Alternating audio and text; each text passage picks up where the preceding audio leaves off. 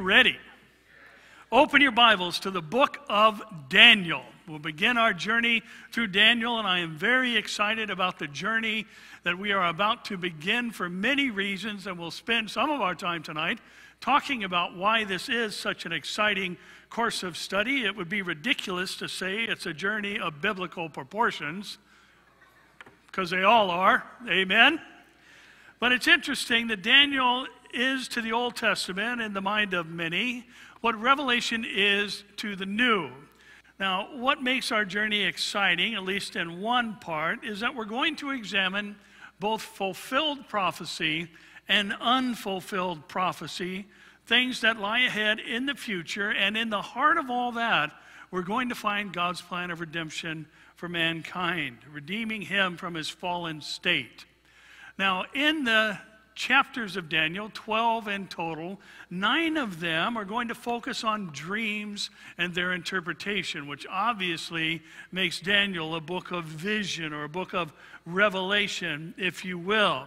And they are concerning our age that we live in today, as well as those prior to us. The age of the Gentiles is within the framework of the book of Daniel. Now, Daniel also has some rather interesting literary features in that it's written in two main languages it's written in Hebrew and it's written in Aramaic. The first chapter and up to chapter 2, verse 3, is written in the language of Hebrew. Then, in the middle of verse 4, the language switches to the diplomatic language of the day, that being Aramaic, and it continues to be written in Aramaic all the way up to and through chapter 7. Then in chapter 8, Daniel switches back to writing in Hebrew as his subject matter turns from not the pagan king and pagan nations covered in, in, chapters 2 through 7, but rather to his people and city that we have recorded for us in Daniel chapter 9. The subject matter returns to the nation and people of Israel. Now, this is a subtle but notable point that's going to become more incredible as we make our way deeper into these chapters. Now, it's interesting that Daniel also includes 21 Persian words. So we see the influence of the Persian captivity uh, in Daniel's writings as well. And the first of those 21 Persian words will be in our verses this, this evening, where we're going to find in verse 3 the word nobles. We're also going to find three uh, Greek transliterated words, meaning they are Greek words that are not translated, and they will all be in reference to musical instruments. So Daniel is quite the scholar. Many say he is unparalleled in Scripture, except possibly by Moses and Paul. He is, uh, speaks multiple languages, writes them, understands them, as is obvious by the things we just mentioned. Now, the book of Daniel is not without its critics by many who claim to be Bible scholars, yet don't believe in prophetic revelation. Now, the argument is made that nobody could write the things with the accuracy in which Daniel wrote without having written them, having an understanding of them after they had happened or when they had happened. So many say that Daniel was not written in, in the uh, 5th century BC, but rather it was written in the 2nd century BC when the heart of the prophecies from chapters 2 to 7 had already been fulfilled. Now, they make the argument that no one could write such things unless they wrote it from the perspective of history. Now, they would have to include in that no one the Holy Spirit, since he wrote all the Bible. Amen? And he can see the future as clearly as you and I can see the present or the past. Now, there are two problems with the historical perspective of the book of Daniel, looking at it as a book of history rather than a book of prophecy. Now, one of their two problems is greater than the other. The first problem is some of what Daniel has written has yet to be fulfilled. So, how can it be written after the fact when the facts aren't even complete yet? And what we do know is that what has been fulfilled assures us that what has not yet been fulfilled is going to be fulfilled with the same accuracy as the things we will, we will study in later chapters. Now, the second problem with viewing Daniel's writing as not prophetically but historically written in the second century BC is this In Matthew 24 14, Jesus said, say, Jesus said, when you see the abomination of desolation spoken of by Daniel the what? The prophet standing where it ought not, let the reader understand. He's talking about the Antichrist who stands in the most holy place and claims to be God. Then let those who are in Judea flee to the mountains. Now, again, Jesus didn't refer to Daniel as Daniel the historian, he referred to Daniel as Daniel the prophet. So if Jesus said the book is prophetic, I'm going to stick with him. Amen? Now, we also need to note that, like Revelation, Daniel does not stick to what we might call a linear chronology. In other words, it isn't just a straight line through a period of history, but it goes back and forth, much like the book of Revelation does, and it's not in a strict sequential order. Chapters 1 through 4 happen in uh, sequential order. Then, after that, Chapters 7 and 8 take place in history. Then, after that, chapter 5 takes place. Then, after that, the events recorded in chapter 9 take place. And after that, the events in chapter 6 take place. And then finally, in 10 to 12, those uh, events recorded there happen in sequence. So, if you're looking to organize the book of Daniel in sequential order, you would do it as follows 1, 2, 3, 4, 7, 8, 5, 9, 6, 10, 11, 12. That's the sequence of events that are recorded in the book of Daniel.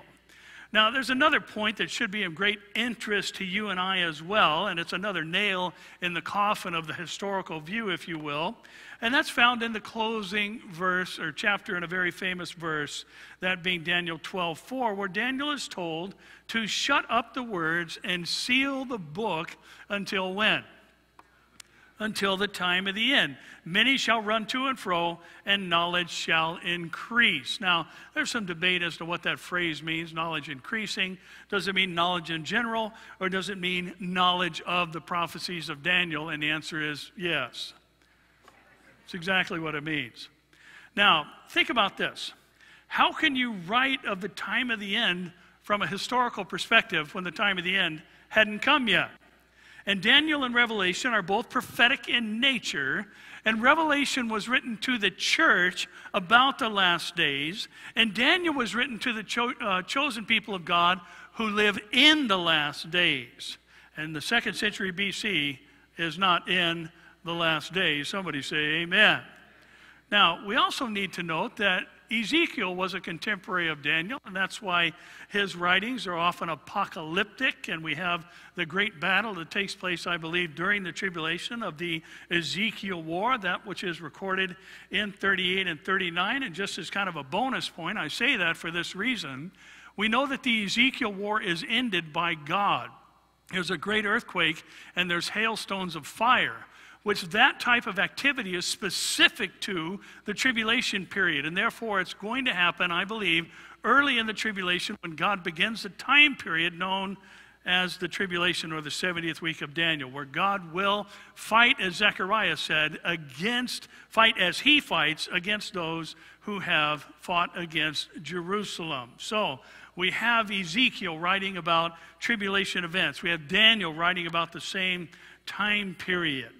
Now, both of these men were taken into Babylonian captivity. Daniel was in the first deportation in 605 BC. The letter actually begins to be written in 602 BC and covers all the way up to 523 BC. Daniel was in captivity for the whole of the 70 years, and Ezekiel was taken captive in the third invasion of the Babylonians of Jerusalem when the temple was destroyed in 586 BC. Now, that tells us that this was a season of rich prophetic revelation, much like the time of Jesus, much like the time of uh, Israel and the Exodus. There was much being said, many things being done that were of a miraculous capacity, so to speak, that was unveiling the plan and purposes of God. Now, in chapter 9, verses 1 and 2, we're going to hear about the first year of Darius, or Darius, the son of Ahasuerus, of the lineage of the Medes, who was made king over the realm of the Chaldeans. That's another name for the Babylonians. In the first year of his reign, I, Daniel, understood by the books the number of years specified by the word of the Lord through who? Jeremiah the prophet, that he would accomplish 70 years in the desolations of Jerusalem. In other words, he understood the captivity would last for 70 years. Now, Jeremiah had spoken on behalf of God that the captivity was in the future for Israel if they did not repent. And the sins that God was calling them to repent of could be summarized under these three categories they were idolatrous, they had committed infanticide, and they were not heeding the word of the Lord. Now, we know specifically from Exodus 23 10 to 11 that God gave a mandate. He said, Six years you shall sow your land and gather in its produce. But the seventh year you shall let it rest and lie fallow. This is called the sabbatical year. That the poor of your people may eat, and what they leave, the beasts of the fields may eat. In like manner, you shall do with your vineyard and your olive grove. Now, with this, God made a promise that He would double the increase of the six years' crop so the people wouldn't starve to death, and He would provide for them uh, double, twice in the sixth year what they needed to cover the seventh. Now, in this sabbatical year, the children of Israel had forsaken it for 490 years. In other words, they ignored the Lord's command to rest. Now, I know it's late, but we can still do some simple math here tonight. 490 divided by 7 is 70. So God took back those sabbatical years from the nation and sent them into captivity and used the Babylonians as the mechanism to do so. Now, he allowed the land to rest, taking back those years that they owed him, which reminds us that God means what he says. Amen? God means what he says, and the word of the Lord is sure and is to be obeyed, and disregard for the word of God always has consequences.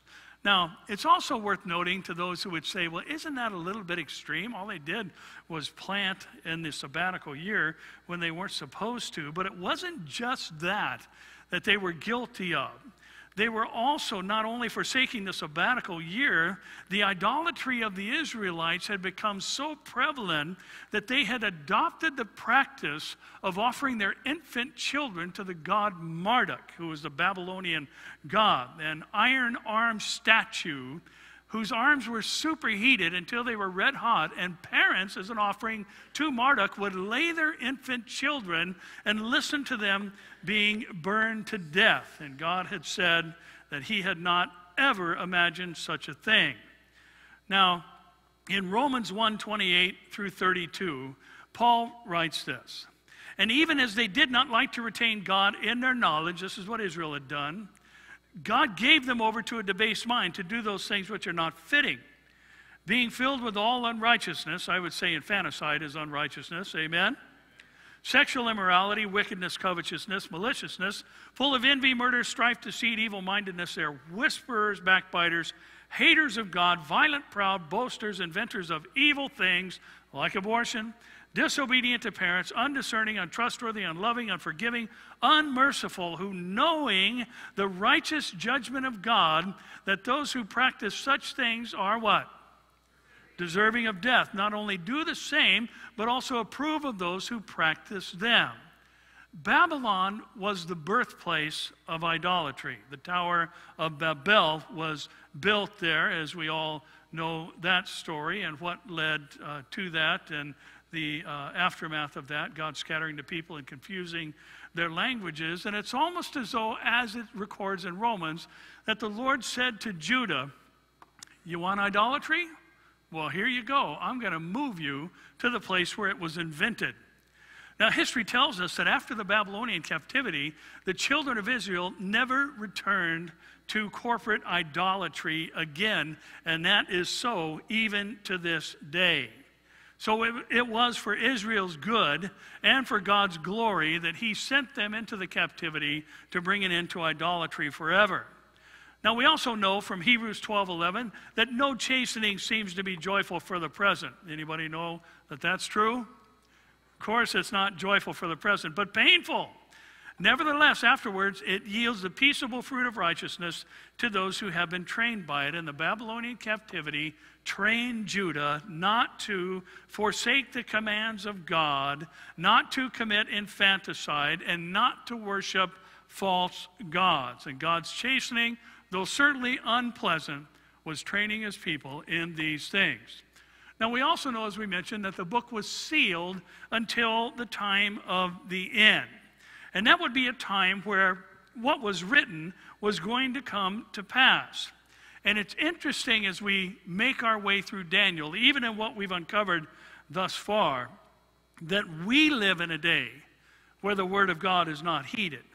We live in a day where children are being sacrificed. We live in a day where idolatry is rampant, and therefore, there just might be something for us in the study of the book of Daniel.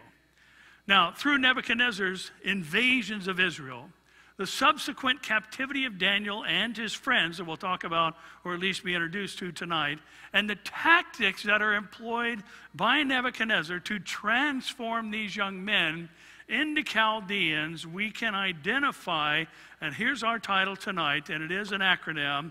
Our title is, and all you police officers will enjoy this, our title is SWAT Satan's Weapons and Tactics. Satan's weapons and tactics is what we'll be exposed to here tonight. And this scenario, as I said, beginning in 5, 605 BC, exposes for us that the actions of Nebuchadnezzar clearly parallel those of the enemy being deployed in our day. Now, we're going to find some stirring realities, I believe, in our text, and they will remind us again that we have an enemy, yet we have the power in Christ to resist him.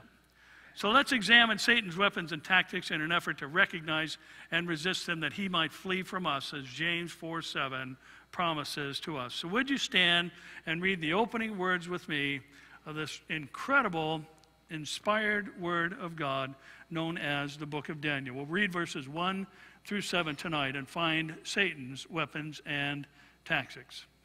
Verse 1 In the third year of the reign of Jehoiakim, king of Judah, Nebuchadnezzar, king of Babylon, came to Jerusalem and besieged it. And the Lord gave to Jehoiakim, king of Judah, into his hand with some of the articles of the house of God, which he carried into the house of Shinar to the house of his God. And he brought the articles into the treasure house of his God.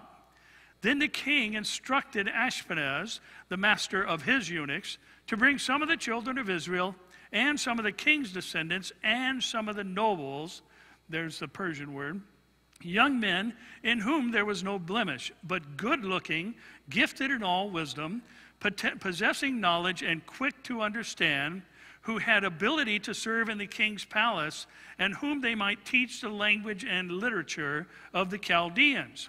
And the king had appointed for them a daily provision of the king's delicacies and of the wine which he drank, and three years of training for them, so that at the end of that time they might serve before the king. Now, from among those of the sons of Judah were Daniel, Hananiah, Mishael, and Azariah. To them the chief of the eunuchs gave the names, gave names rather. He gave Daniel the name Belteshazzar to Hananiah, Shadrach, to Mishael, Meshach, and to Azariah, Abed, Nego. Father, once again, we ask your blessings on this journey as we begin this incredible book as it reveals, Lord, events from the past and points to events in the future. And give us understanding again, we ask. In Jesus' name, amen. You may be seated. Now, we'll probably correct a little of our Western culture pronunciations here with some of these names. We often uh, have pronounced them the way that we would, but we have to remember these names are either Hebrew or they are Chaldean, so we'll probably move back and forth between the familiar pronunciations and just for our own understanding, we'll pronounce them as they should be. Now, while we recognize that the captivity of Judah was ordered and orchestrated by God, we equally know that whatever God does, Satan tries to subvert it or he tries to pervert it. Now, based on the fact that there are three things, based on that fact, I should say, there are three things that we're going to find in our text tonight that are being employed by the enemy in our day that are also found in these verses through Nebuchadnezzar's efforts to deal with these young men that he want, wanted to serve in his courts. Now, what we're going to find are these things we're going to find Satan's agenda, we're going to find his prime target, and we're going to find his most effective tactic. Now, he hasn't changed any of these things. His weapons and tactics remain the same since the garden because these things have been effective in deceiving multitudes down through the ages, including during the Babylonian captivity. Now, we know that's true because there were far more than the famous quartet of Daniel of good looking, smart young men that were brought over from Jerusalem to serve the king. Many of them did not adhere to the things that Daniel did that we'll talk about next time we're together in two weeks. Now, the first thing we need to notice in verses 1 and 2, and it's Satan's agenda, and it's agenda, his agenda yet to this day. Now, Jeremiah is going to help us see it as well, as he was commanded by God to write down his prophecy on a scroll, and then he was told to give it to Jehoiakim, the king of Judah, the one mentioned in verse 1 of our text. Now, in Jeremiah 36, 1 and 2, it came to pass in the fourth year of Jehoiakim, the son of Josiah, king of Judah, that this word came to Jeremiah from the Lord, saying, Take a scroll of a book and write on it all the words that I have spoken to you against Israel, against Judah, and against all the nations from the day I spoke to you, from the days of Josiah, even to this day. Later in the same chapter, in 22 to 24, we're told that the king, Jehoiakim, was sitting in the winter house in the ninth month with a fire burning on the hearth before him. And it happened when Jehudi had read three or four columns that the king cut it. This is a scroll Jeremiah wrote with the scribe's knife and cast it in the fire that was on the hearth until all the scroll was consumed in the fire that was on the hearth. Yet they were not afraid, nor did they tear their garments, the king nor any of his servants who heard all these words. Now, this is what King Jehoiakim did with the word of God. He took a knife and cut the scroll into pieces and threw it in the fire. And this is the disregard and disrespect he had for the words of Jeremiah's prophecy. We know also from chapter 36 that the scroll warned of Nebuchadnezzar's coming, of the Babylonian invasion, and that he was coming to overthrow Jerusalem. And through Jeremiah, Jehoiakim had actually been offered the opportunity to live by surrendering to the Babylonian army because God said, I am going to reclaim the 70 sabbatical years forsaken by Israel. Yet Jehoiakim's disrespect and disregard for the Lord is obvious in his actions. Then later you'd find in Jeremiah that this disregard for the word of God actually cost him his life.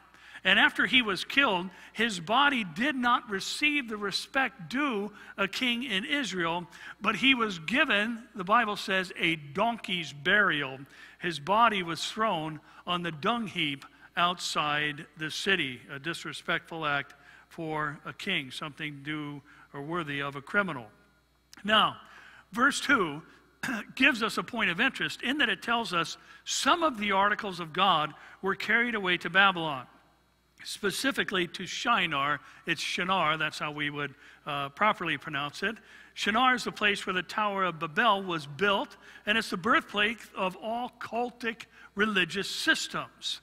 But note where Nebuchadnezzar takes the articles of the house of the true and living God. Now, a book published in 1956, known as the Babylonian Chronicles, says there were 580 articles taken by Nebuchadnezzar to the house of his God. And he takes him not to his house, but to the house of Marduk.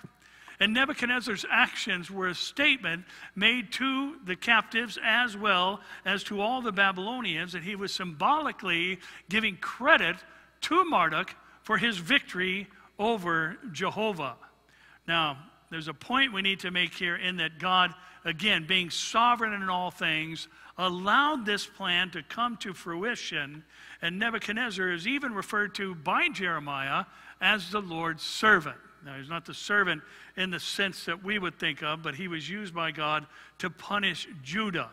Now, there is some uh, evidence that Jeremiah or uh, Nebuchadnezzar actually did come to his senses and come to know the Lord later in life. But we'll talk about that when we get there in 2019. Now, this points out what is and always has been the enemy's agenda, and we can see it as Satan's weapons and tactics. Now, here's his agenda. Listen, just simplistic truths, something to observe. The devil's agenda is always to rob God of his glory. The devil's agenda is always to rob God of his glory. Think about what we know of the fall of Satan. From Isaiah 14, 12 to 15, the prophet writes, How you are fallen from heaven, O Lucifer, son of the morning, how you are cut down to the ground, you who weaken the nations. For you have said in your heart, I will ascend into heaven, I will exalt my throne above the stars of God. I will also sit on the mount of the congregation on the farther sides of the north. I will ascend above the heights of the clouds. I will be like who? The Most High. Yet you shall be brought down to Sheol, the lowest depths of the pit. Satan has always sought elevation above God. And from the Garden of Eden to his eternal destiny in Gehenna, this is going to be his agenda. Now, think about it like this. In Psalm 19:1, we're told the heavens declare the glory of God, and the firmament shows his what?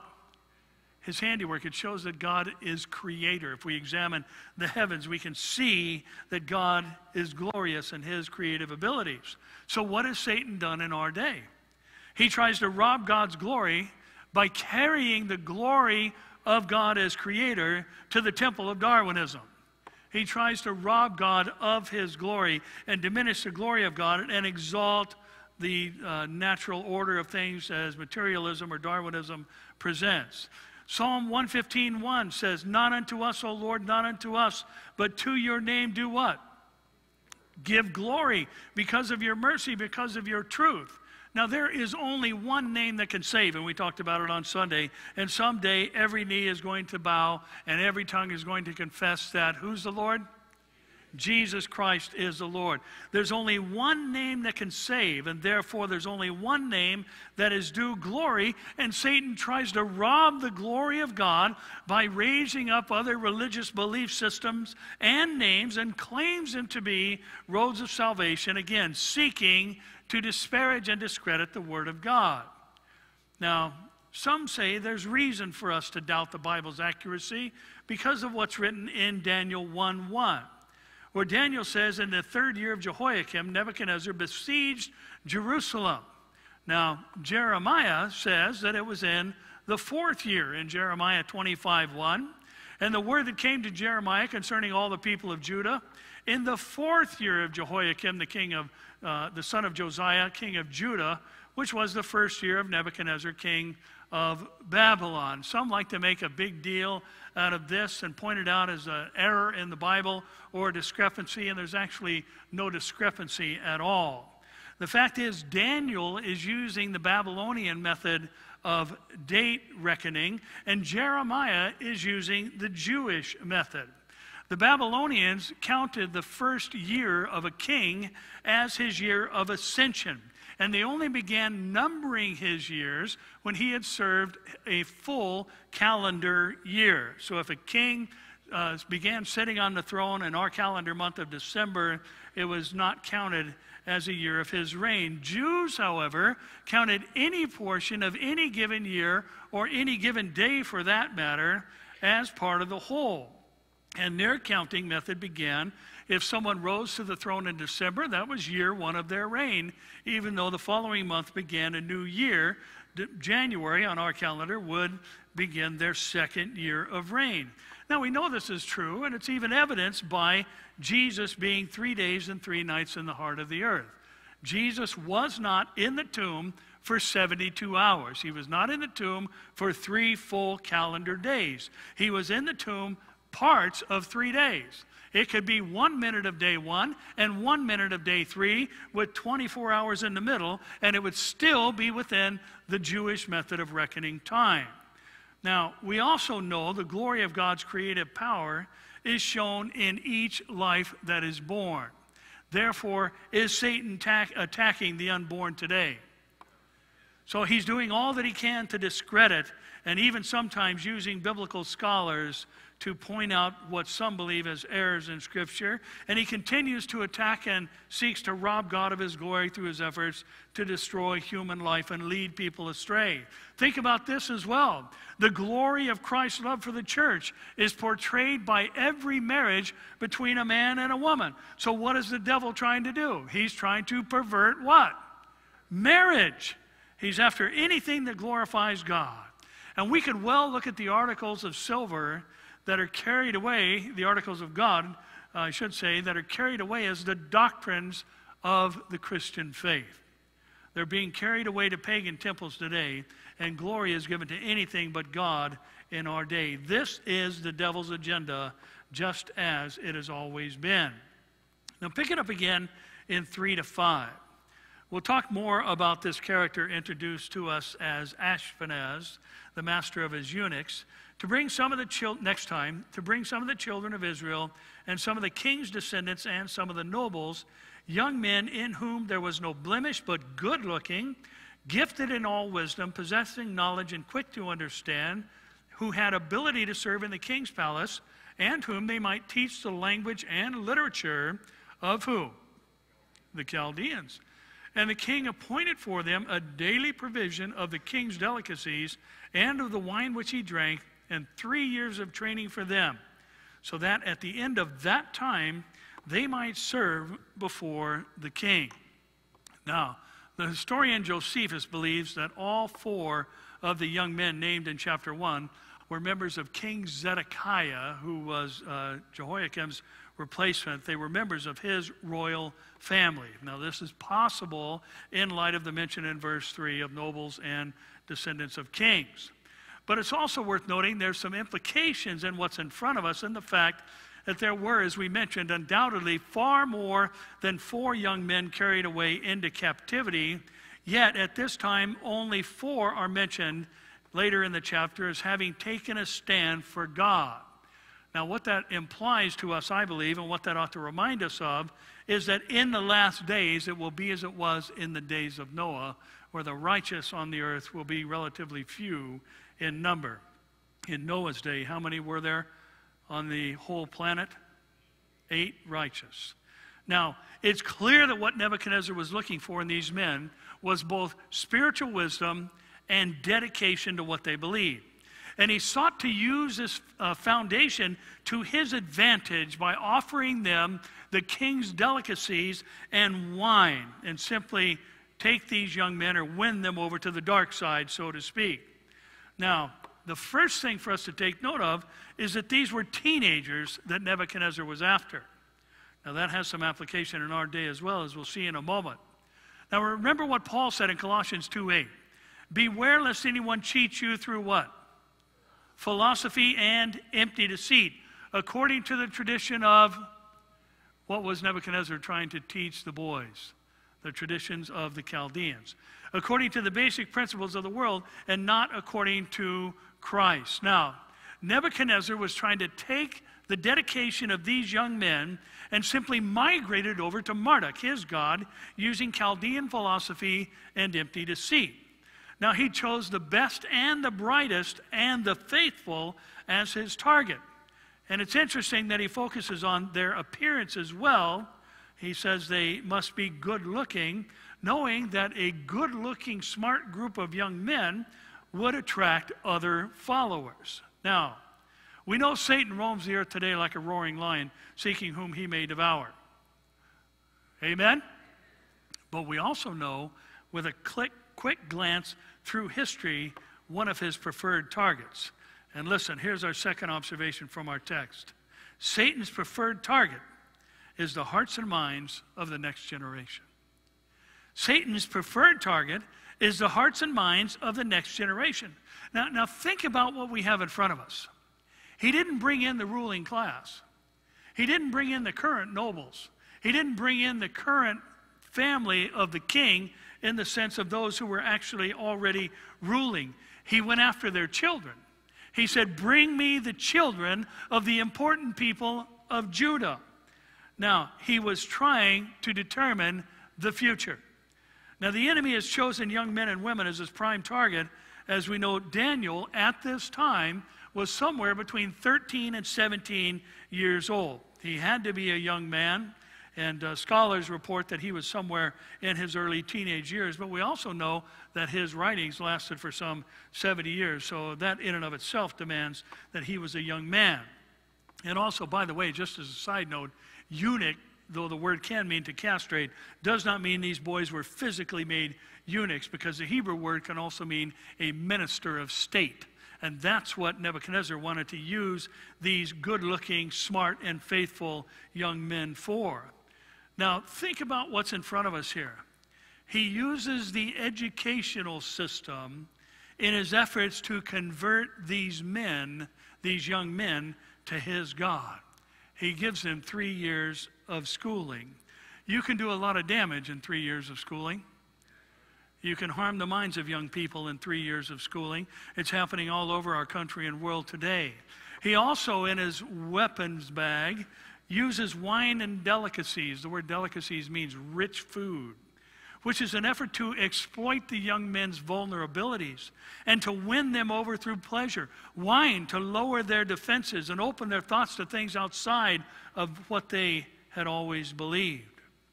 This parallels what Paul talks about concerning the last days in which we now live.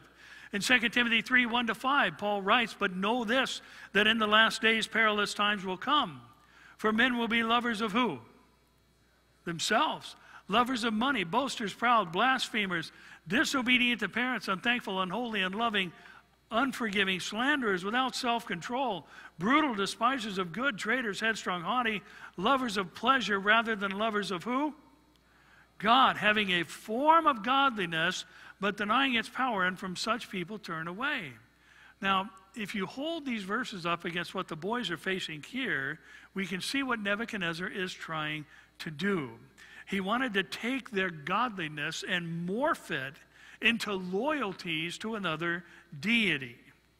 Now, this also has application in our recent history, world history that is. For Adolf Hitler was often heard to say, Capture the youth, and you have captured a nation. Now, we know who Hitler served, and it wasn't the God of the Bible. He served our enemy, Satan. Now, I want you to consider the enemy targets today. He targets the unborn. He's killing children in the womb. Listen, let me just say this tonight.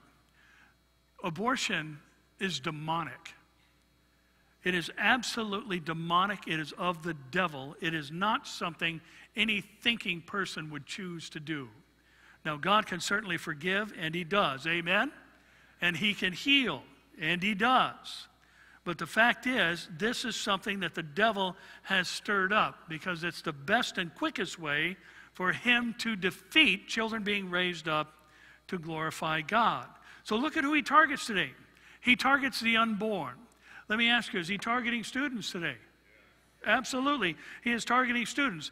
Is he targeting marriage today? Well, I would also point out that the vast majority of people who get married today are young people. So he is attacking them in that way as well.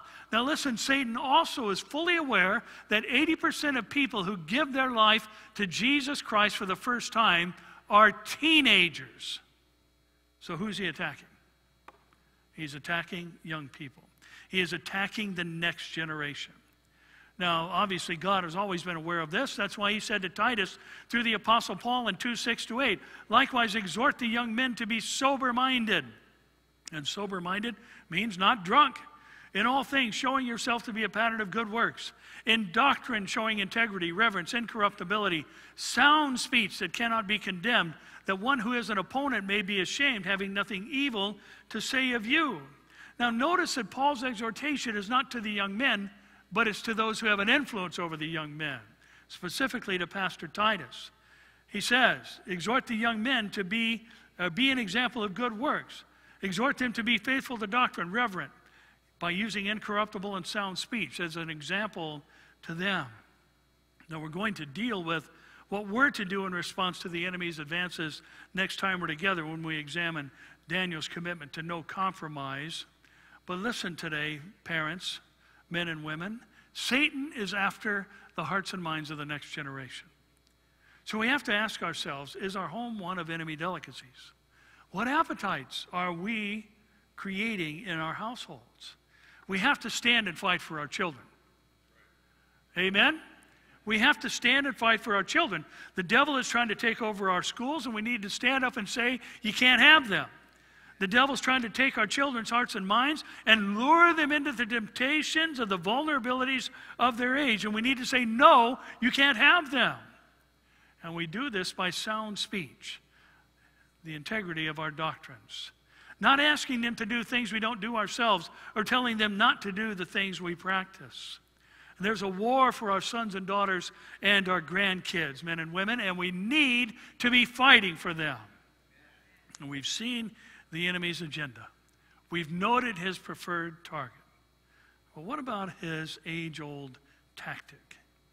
In 6 and 7, we're told now, from among those of the sons of Judah were Daniel, Hananiah, Mishael, and Azariah. To them, the chief of the eunuchs gave names.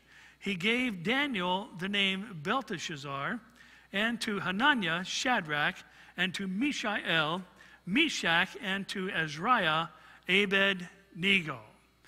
Now, we've touched on a couple of the enemy's tactics or strategies, but there's one overriding tactic he uses to this very day, and we'll highlight it here in a moment. Now, his strategies or his weapons of choice are wine and the rich food, which are basically types of the lust of the flesh. He seeks to exploit natural God given desires and take them to unnatural proportions. Now, this tactic is revealed by how these men are named. Now, Daniel's name, if you want to jot them down, we'll pop them up on the screen. Daniel's name in Hebrew means God is my judge. Belteshazzar means, may Bel protect his life. Hananiah means Jehovah is gracious. Shadrach, the Chaldean name, means command of Aku, and Aku was a Babylonian moon god. Mishael is actually, his name is a question, and we would translate it as Michael, who is like God. And his name was changed to Meshach in Chaldean, which means who is like Aku, who is the moon god once again. Azariah, his name means the Lord helps. His name was changed to Abednego, which means servant of Nebo. And Nebo, by the way, is Baal. And this tells us what the enemy has been trying to do and what he has tried to do through the ages and has had some success in doing so. And Nebuchadnezzar's desire was to leave the sense of power in the name of these men, but to revise the source of their power, attributing it to his own gods. Now, in John 19, 7 through 11, we're told the Jews answered him, We have a law. According to our law, he ought to die because he made himself the Son of God. Therefore, when Pilate heard that saying, he was the more afraid, and he went again into the praetorium and said to Jesus, Where are you from? But Jesus gave him no answer. Then Pilate said to him, Are you not speaking to me? Do you not know that I have the power to crucify you and the power to release you? And Jesus answered, You could have no power at all unless against me unless it had been given you from above. Therefore, the one who delivered me to you has the greater sin. Now, here's what I want you to take away from that scene Satan wants us to think he has more power than the Father. Satan wants us to think that we can't win our kids back. Satan wants us to think that the battle's already over and that it's too late. Satan wants us to think that that loved one is never going to and can't ever come to Christ. He wants us to think that his grip is stronger than that of the Lord's. He wants us to think that there are things that he can do that God cannot stop. But he has no power that God has not allowed. And this is what Jesus says to Pilate You wouldn't have any power against me at all unless it had been given to you from above to fulfill, obviously, the purposes of his coming. Now, that means Satan's tactic can be summarized as this. Listen, Satan's favorite tactic is convincing God's people to live indistinguishable from the world. That's his favorite tactic. He's been trying to do it since the garden. His favorite tactic is convincing God's people to live indistinguishable from the world. Now, let's break down the strategy, once strategy, strategy, strategy once again, or strategery. Isn't that how that floated around for a while? Now, look at his strategy once again. What's he say? Eat the delicacies, the rich food. Drink the king's wine. Not something that comes in a box, but something that comes in a hand painted bottle or a carafe. What else does he say? Learn the language, read the literature, or uh, train for three years, change their names, serve in a pagan king's palace. Now, notice that Nebuchadnezzar did not send them into a heavy deprogramming of the Jewish faith. He simply sought to inundate the young men with his faith. He wanted them to serve in his palace. He wanted to use the good thing, a dedicated spirit to what they believed, to his own advantage. And this is a major move that is going on in the midst of world religions that we have made mention of on Sunday recently, and that is to explore the common ground between religions. There was even a document that floated around some years ago that was signed and exchanged between Muslim imams and hundred, hundreds of evangelical Christian pastors. They sought to bring the two groups together, celebrating our common ground rather than fighting over our differences. Now, the common ground that they established in this document signed by Muslim imams and supposed Christian pastors was this we all worship the same God. Is that true? Absolutely not. As a matter of fact, the God who authored this book says this 1 Chronicles 16 26. For all the gods of the peoples are what? Idols. But in contrast, the Lord, Adonai, made the heavens.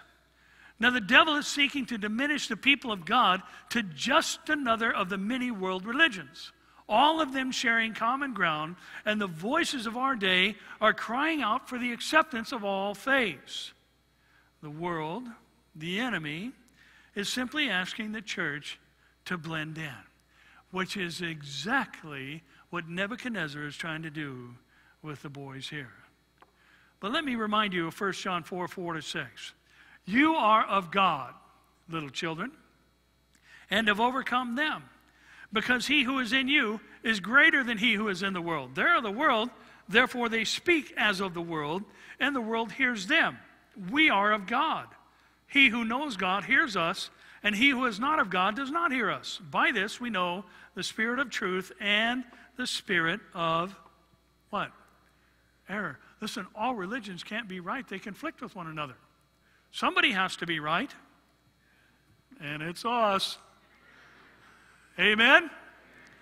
Now, the devil has convinced many in, the, many in the church today that you have to speak the language of the world in order to reach them. That's why we have, there was even a pastor, a young pastor, sadly, that carried with him the moniker there for a while as the cussing pastor. What a shameful label to be known as the cussing pastor. Talk about oxymorons. Many today are saying you have to indulge yourself in the things of the world so the world sees that we're not different. That's not what the world needs to see. The world needs to see we're completely different. And many today have said it's okay to learn and use other means as a way to reach God, which is Satan's tactic to get us to look more like the world. But we're not of the world. We're not supposed to blend in. We're not supposed to speak their language. We're not supposed to dress like the Chaldeans. We're not supposed to learn their ways through their literature, follow their lusts and their passions. We are the people of God.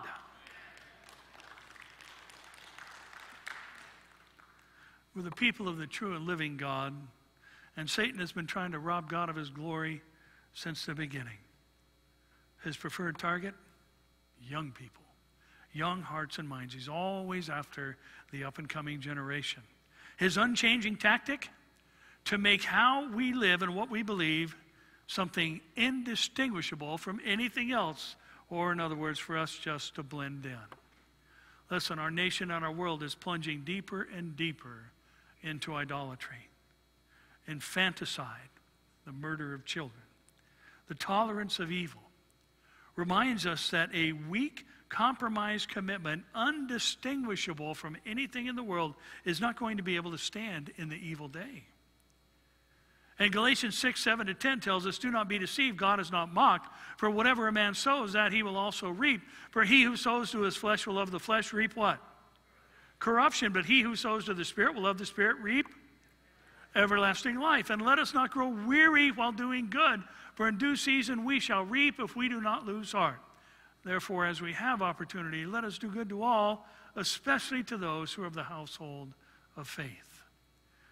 Church, there's a season coming where our nation and world is going to reap what it's sown. The blood of countless millions of unborn children is crying out to God for justice. And the blood of the martyrs joins in their cry.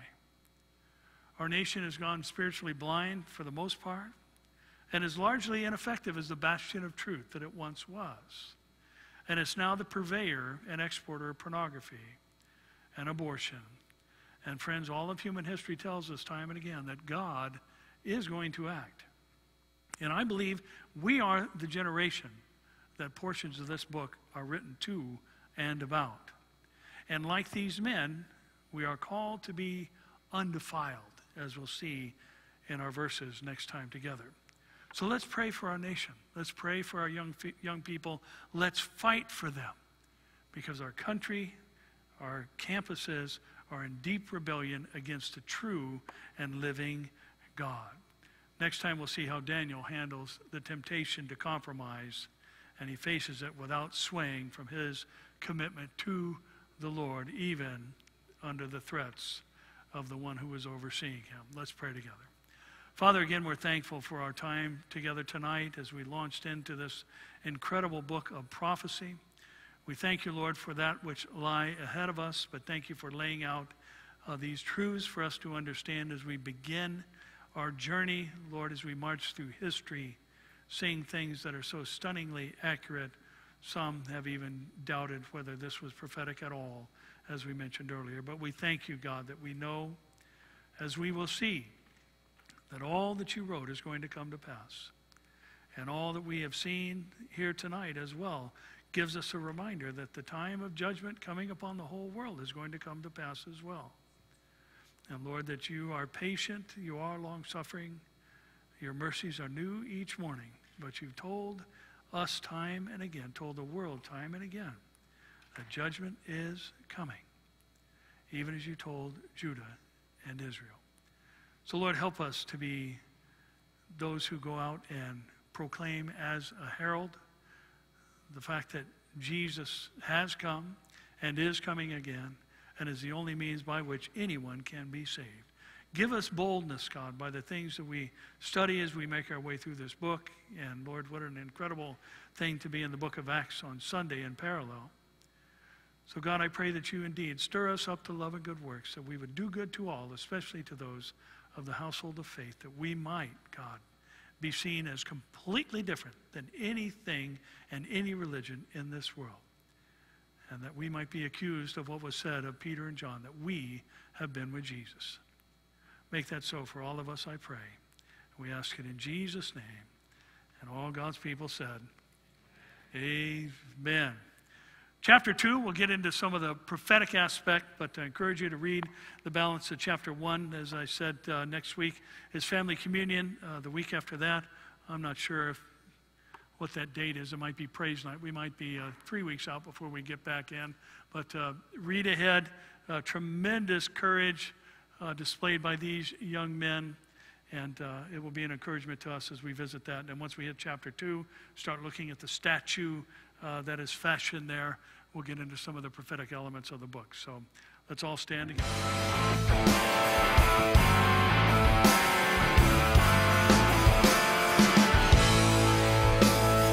I found the answers you need. Are you listening? I'll tell you the truth about God. My eyes haven't seen him, these hands never touched him. I've never seen the wind, but I felt the breeze today.